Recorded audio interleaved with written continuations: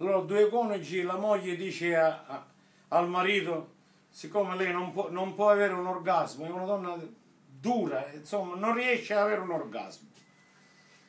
Però una notte ha detto, sai caro, ho fatto un sogno.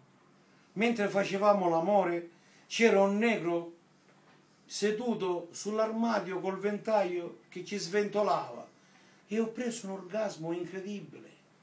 Allora decidono di realizzare il sogno.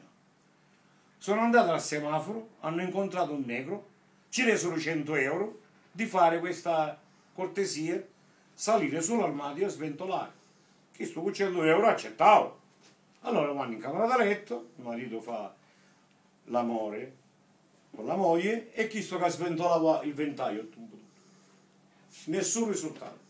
Allora la moglie dice, senti, facciamo una cosa, invertiamo le parti. Un marito sull'armadio e il negro a letto con me. Allora mentre il marito là sopra che sventolava, io negro.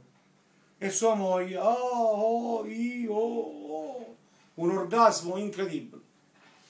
Quando hanno finito, un marito scende dall'armadio, rivolto verso il negro, ci dice, oh bestia, lo vedi come si sventaglia?